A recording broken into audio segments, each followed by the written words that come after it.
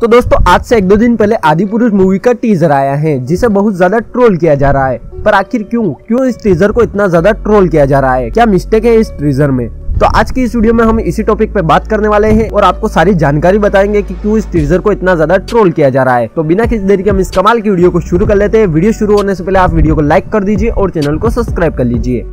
चलो भाई देखो अपने क्या करते दोस्तों टीजर के शुरू में एक्टर प्रभास को पानी के अंदर तप करते हुए दिखाया गया है। जो सीन कॉपी किया गया है। दोस्तों ये सीन साउथ की एक मूवी शेरा नरसिम्हा रेड्डी से कॉपी किया गया है। इस मूवी में भी एक्टर ऐसे ही अंडर वाटर में तब करते हैं तो ये सीन वहाँ से कॉपी किया गया है। अरे बाप रे ये तो धोती खोल रहा है।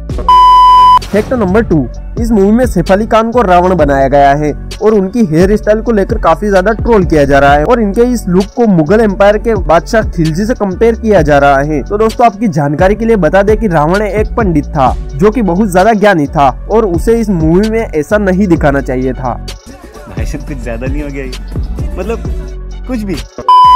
फैक्ट नंबर थ्री इसमें जो रावण पुष्पक विमान पर बैठकर आते हैं उसे गेम ऑफ़ थ्रोन्स नाम की वेब सीरीज़ के ड्रैगन से कॉपी किया गया है। और कई सारे लोग तो इसे चमकादड़ भी बोल रहे हैं। दोस्तों, रावण के पुष्पक विमान को ऐसे दिखाना चाहिए था। फैक्ट नंबर फोर तो दोस्तों, इस सीन में भगवान राम को राम सेतु के ऊपर चलते हुए बताया गया है। और इस सीन में सबसे बड़ी मिस्टेक ये है कि इसमें भगवान राम को चप्पल पहने दिखाया गया है, जबकि भगवान राम की चप्पल भरत जी ने रख ली थी। और इस मूवी में भगवान राम को चप्पल में दिखाया गया है, जो की काफ़ी ज़्यादा गलत है, और लोग इसी वजह से इसे ट्रोल कर रहे हैं। फैक्ट नंबर फाइव दोस्तों आदि पुरुष के इस सीन में पूरी वानर सेना को दिखाया गया है जिसमें वो राक्षसों के सामने लड़ने आ रही हैं। दोस्तों, ये सीन भी एक हॉलीवुड की मूवी से कॉपी किया गया है। जिस मूवी का नाम है द लेजेंड ऑफ़ टार्जन दोस्तों, आप वीडियो में देख सकते हैं कि इस मूवी के इस सीन को सेम टू सेम कॉपी किया गया है।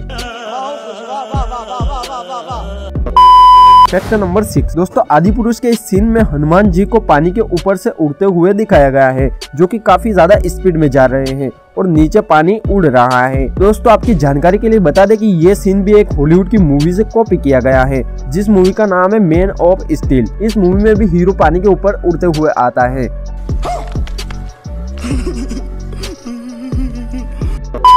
दोस्तों, इन्हीं सारे रीजन की वजह से इस ट्रीजर को ट्रोल किया जा रहा है। तो दोस्तों, आपको वीडियो कैसी लगी, आप वीडियो को लाइक कर दीजिए और चैनल को सब्सक्राइब कर लीजिए।